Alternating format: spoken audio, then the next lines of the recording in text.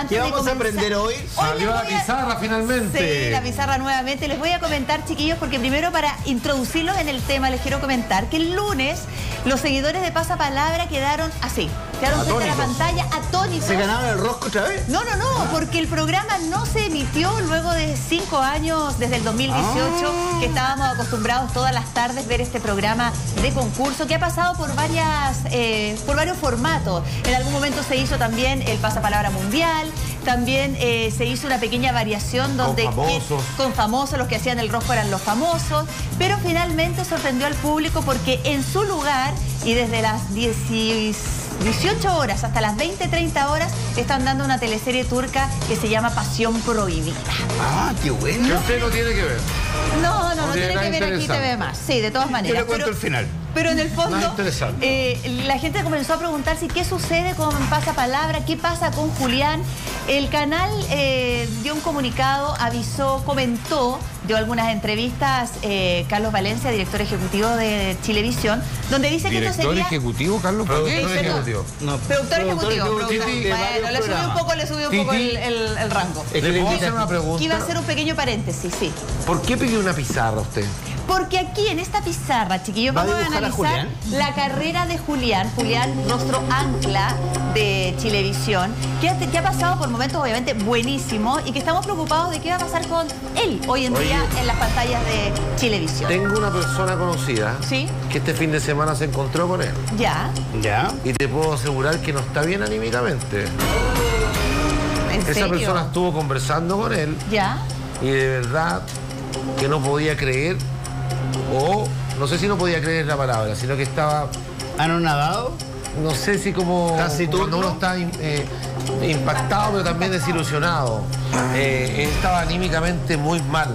No sé si tú conoces a algún cercano a él, Mauricio. No. pero Mauricio, ¿por qué está así como cariñosito? ¿Qué ¿Quién onda? te datió eso? ¿Qué pasó?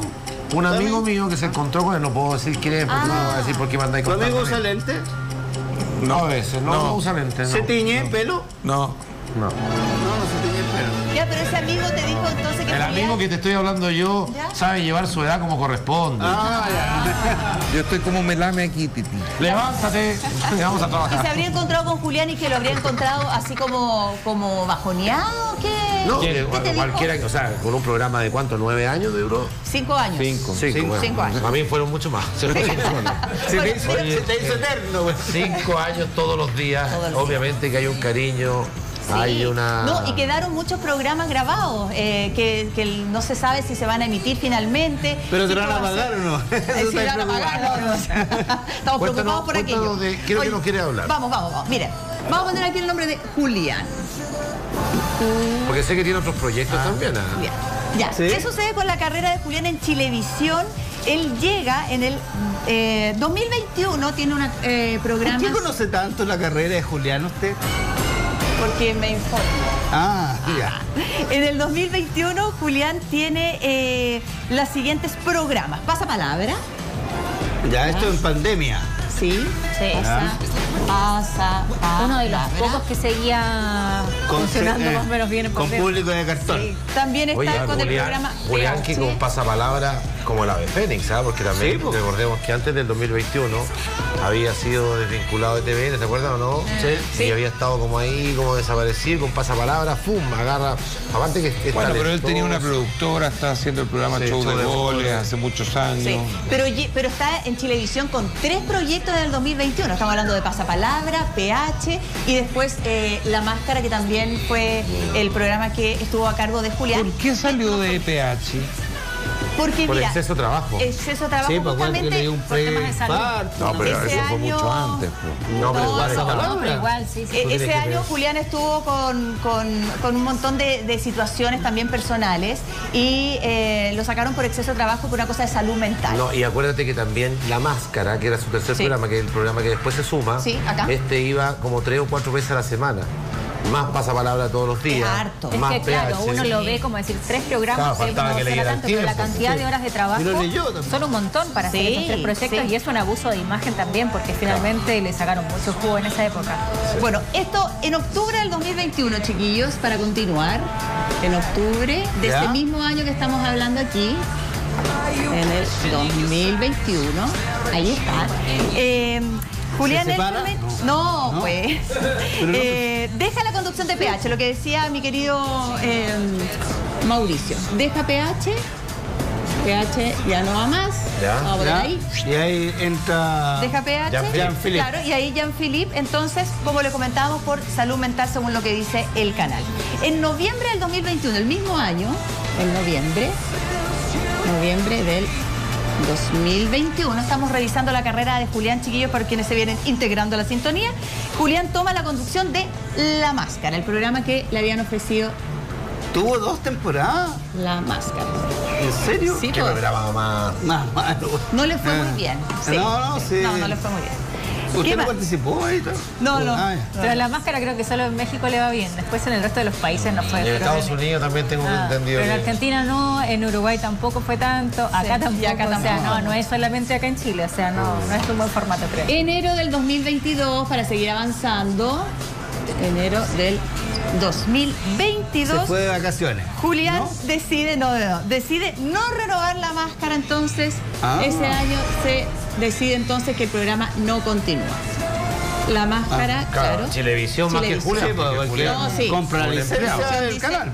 Es como, un, es como uno aquí, un empleado. Exactamente, por resultados de rating y quizás porque el, el formato de la máscara igual no es un formato barato. No, pues caro. O sea, eh, imagínense la cantidad de, de- de implementos que tienen que tener, además de los Más. sueldos de los participantes. Sí, y los bailarines, Espérate un poquito, bailarines. Sí. Oye, eh, Mauricio, después te pueden compartir los apuntes, ¿ah? no tienes para qué notarlo. No, lo que pasa es que me está llegando una información muy buena de Felipe, de, de Julián. De Julián, no, Es pero verdad, mira. es verdad. Mira, pero, pero Pero mira, después te podemos compartir las notas porque pero mira qué dice ahí, lee. tú sabes quién es el representante de Julián. Listo, dejémoslo hasta ahí y después lo cuento. Que dale con los representantes. ¿Ya? En todos los programas meten a los representantes. Sigamos, vamos con abril del 2022. Sí.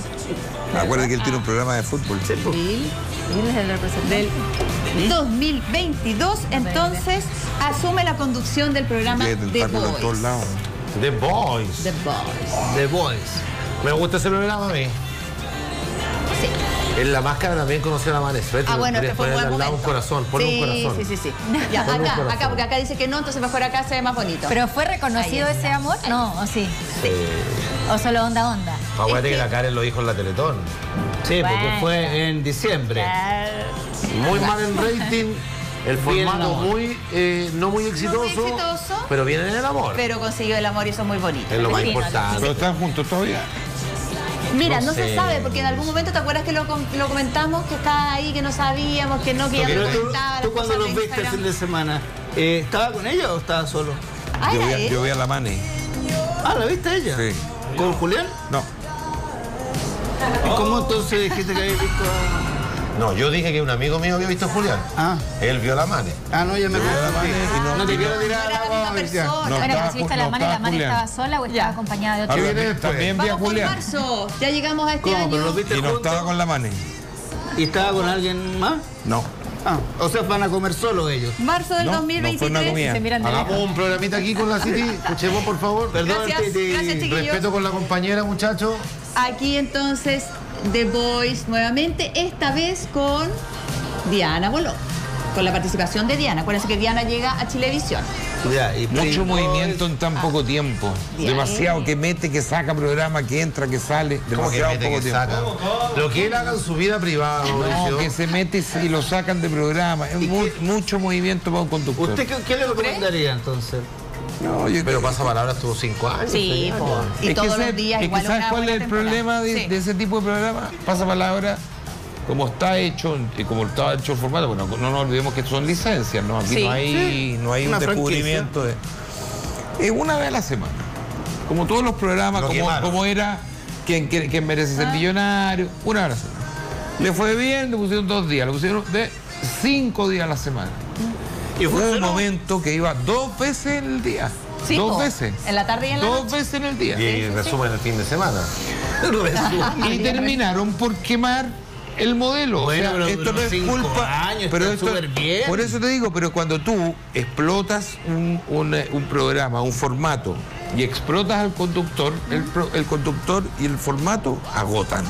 Ya. Y hoy día Felipe está Pero- así, Felipe, o sea, Felipe no, pero Julián está así, producto de que de, de- de- de tanto ex- de tanta exposición y el desgaste que ha tenido de tantas horas en pantalla.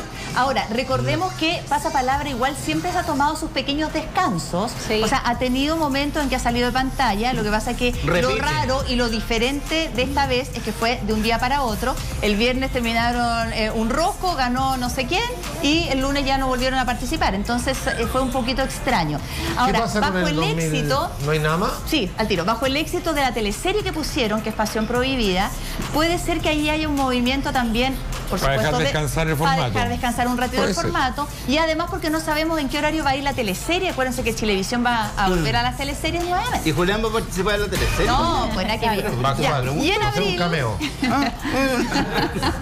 ¿Cuál va a ser el papel de Julián? Pero a mí me llama la atención lo que acaba de decir. eh, Perdón, está no sé. atento a sí, lo que es que el, el- el alumno Israel ¿Ya? está dando muy buenos datos. Ah. Pero está haciendo el de las chakras.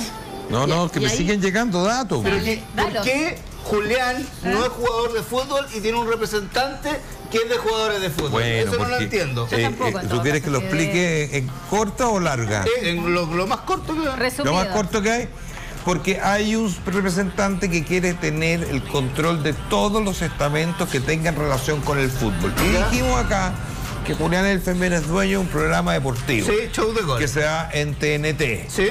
Que, eh, que el fútbol chileno está cooptado por los representantes y en especial por este, que no solamente representa a Julián, hay varios más a los que Ah, sí, representa. hay varios más. Y Julián lo tiene como representante, entonces obviamente en el show de goles nadie habla mal de los jugadores de FEFE.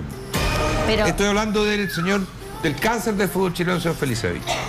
pero solamente en el programa de fútbol o en toda su carrera él es el representante. No, él es representante en su carrera. En toda su de carrera, de hecho, yo tengo, mira, no sé buena fuente, no voy a dar el nombre, pero me contó uno de los gran- más grandes animadores que tiene hoy día Chile, hoy, por Ya, hoy. Hoy por conté? hoy. ¿Qué vas a contar? Cuidado con lo que vas a decir. que lo invitaron a una nueva reunión y le ofrecieron ¿Ya? un auto de 300 millones de pesos para que firmara con él como representante. O sea, ¿podemos ver a Julián Effelbein en la selección? No es Julián. Ay, pero Algo qué así, enredo. Bueno, chiquillo, en resumen, luego de este 2021 con tres, con tres eh, programas, lamentablemente ahora Julián, por ahora, porque eso no significa que, que no vaya Oye, a salir pero- otra cosa, se queda solo con un programa que es The Voice en las pantallas de televisión y a la espera de qué va a pasar con Pasapasa. No tan lamentable decía, porque es un tremendo estelar. Sí, está yendo pues. y Muy gozando gra- con muy gracias buena sintonía.